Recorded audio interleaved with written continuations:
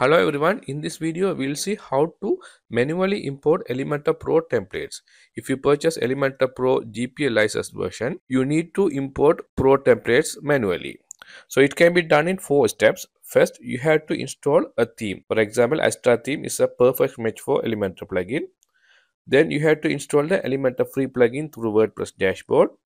Then you have to upload the Elementor Pro plugin, but it's optional then you can import the Elementor Pro template. So I'll demonstrate how to do this. First go to your WordPress dashboard, then click appearance, then click themes. Here you can see there's already a WordPress default template is installed, but it is not supportive for the Elementor Pro templates.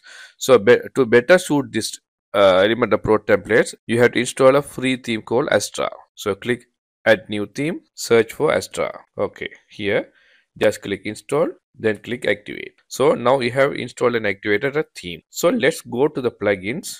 Click add new plugin. So here you have to install the elementor free plugin. So it's available through wordpress dashboard. So search for elementor. So this is the elementor website builder. It's a plugin free plugin. So click install now then click activate. Okay now you have installed the elementor free version so let's upload the Elementor Pro you have purchased. So go to add new plugin, click upload plugin, click choose file, click the Elementor Pro latest version, click open, click install now. Once installed, click activate plugin. Okay, now you have installed the Elementor free version and also the Pro. Okay, now let's see how to import the Elementor Pro template manually.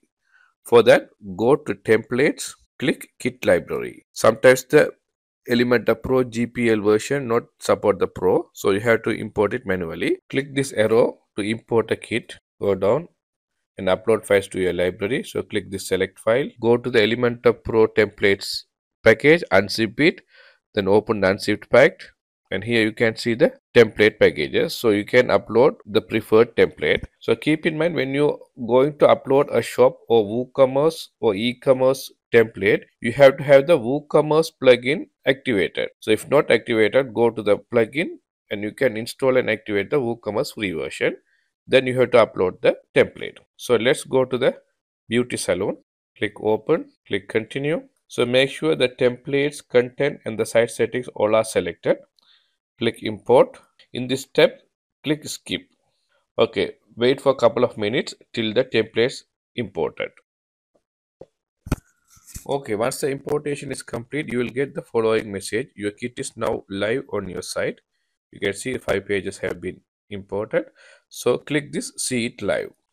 Wow, you can see now your demo data have been imported. But you can observe there's no menu items available. So to add the menu item, you have to go to the go to the admin dashboard, check the pages, click all pages. You can see all the pages have been imported about contact gallery home privacy sample page services those kind of things. So you have to add these things in the menu item. So go to appearance click menus. So here here you can see there's no menu is available. So let's click a menu. So called main menu. So let's create it click create menu. Now go to the pages view all pages. Here you can select the pages you want to display. So let's click home about contact gallery services. So add to menu. Okay now you can see the menu item have been added. If you want to change the orders you can change drag and drop and change the order like this and click save menu. So let's copy this website link and open in a new tab. Now you can see all contents have been imported. Let's click services. Well you can see. All the services have been imported. Let's click this contact. Okay you can see. The contact is available. In case if you didn't get the home page exactly in the front page of the website go to the dashboard click appearance then click customize. Go to home page settings and here you can select the static page and here you can select the home. But in our case it is already selected. This is how you can manually import the elementor pro templates to the library kit. Thank you.